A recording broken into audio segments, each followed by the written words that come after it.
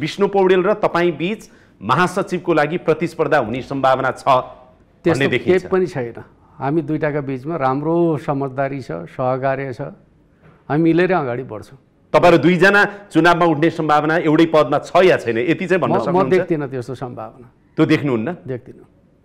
विष्णु पौडेल र तपाईँ एउटै पद अथवा महासचिवमा उठ्ने सम्भावना चाहिँ चुनावमा प्रतिस्पर्धा गर्ने सम्भावना छैन। छैन। त्यो स्पष्ट हो। यसबाट कि तपाईँ महासचिव कि उहाँ महासचिव? जे होला हामी एउटै पदमा उम्मेदवार बन्दैनौँ। त्यो चाहिँ सत्य हो। त्यो त भइहाल्छ नि किनकि हामी सधैँ मिलेर काम गरिराखेका छौँ त त्यसमा चि असमझदारी होला भन्ने मलाई लाग्दै लाग्दैन। अब कार्यकर्ताको चाहना प्रकट भइराखेको छ हामी सुनिराखेकै छौँ। त्यो चिजमा के छ ग्रेभिटी भन्ने कुरा हामी बुझ्छौँ के गर्दाखेरि पार्टीलाई बलियो बनाउन सकिन्छ हामी सल्लाह गर्छौँ एउटा निष्कर्षमा पुग्छौँ। के त्यो अन्यथा विषय त हुँदै होइन नि हो र? त्यही त त्यस्तो नहुनु पर्ने हो। हुँदैन। कम्तीमा तपाईँले यो कुरा स्पष्ट पार्नुभयो। उहाँको लागि पनि राहत भयो होला तपाईँको लागि पनि उहाँले बोलिदिने कुराले राहत होला अथवा के होला।